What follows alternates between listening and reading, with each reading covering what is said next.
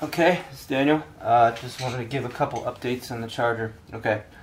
Um, I answer a few questions and then uh, that got that were posted in the comments and just uh, show some updates. So the biggest update is that I added a second charge controller.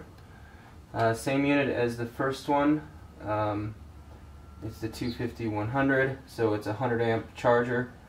Um, again, this is a 24 volt system, so uh, this allows me to basically run one of my arrays that gets shaded a lot uh, in uh, lower voltage configuration so that I can get more power out of each uh, panel. So uh, this controller is, is used for all the arrays that are on the roof and this one is for array that's ground mounted in the back.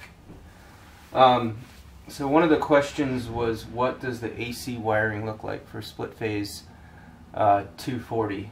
So again there's two um, multi-plus 3000 amp hour uh, inverters here uh, roughly capable of around four and a half kilowatts of charging. Um, the the two are linked together via this Ethernet cable. So it comes down here and goes over here. And you do some settings inside um, the device with, uh, again, with uh, an Ethernet dongle over here, or excuse me, an Ethernet cable um, and your computer. And essentially you can take the positive wave of, uh, or if we look at one of the half sine waves of, of one inverter, um, you can sync them so that they're 180 degrees out of phase with this inverter and then the delta between the two is going to be your 240 volt RMS. Um, so how's it hooked up? So the first thing you can see, these are off, that's critical, um, is that there's a line, a neutral, and a ground coming out of each inverter. Okay, so the line is black, the neutral is white, and then ground. Okay, and then this is really thick uh, six gauge cable uh, because you can pull a lot of current on this on each device. Um, and then the same for here. So you've got your line, your neutral, and your ground. Okay. So at this point, we'll switch over to the back and then look at what's going on there.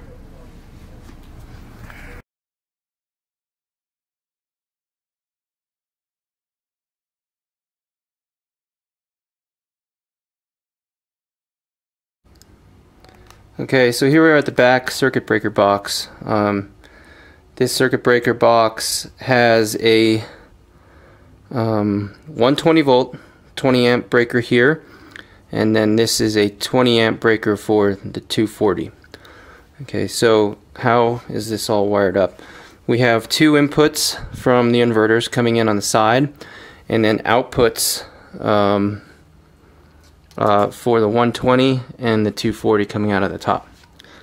Alright, so if we first look at what's going on, we have on the right side the hot and the neutral and a ground coming in.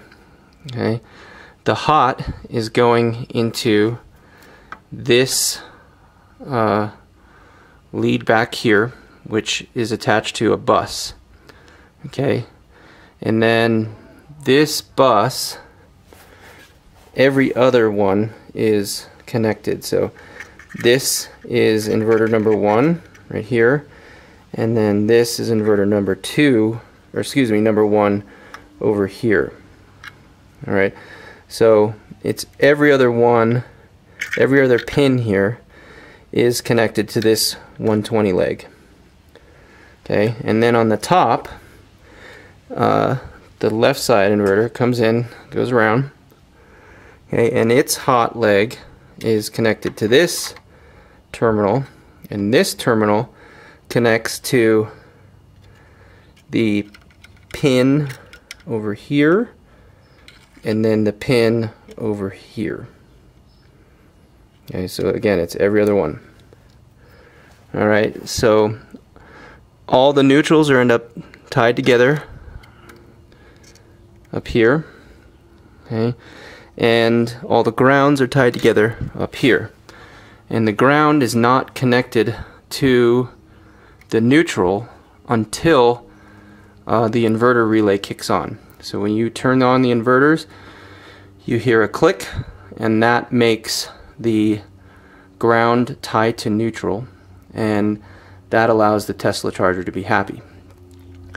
Okay, so on the output side, again, we've got a 120 leg here, another 120 leg here.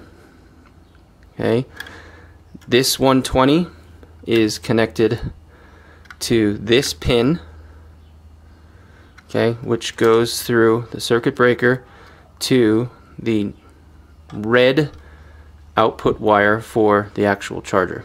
Excuse me, the black output wire for the charger. Okay, and then this 120 leg goes to this pin and goes through the circuit breaker to the other hot leg. So you've got two hot legs now that have a potential difference of 240 volts between these two terminals and then that out goes that goes out to the uh, uh, to the uh, receptacle Okay, and then again, neutral is part of that bundle, and it's just tied to the neutral block. And a small ground up there.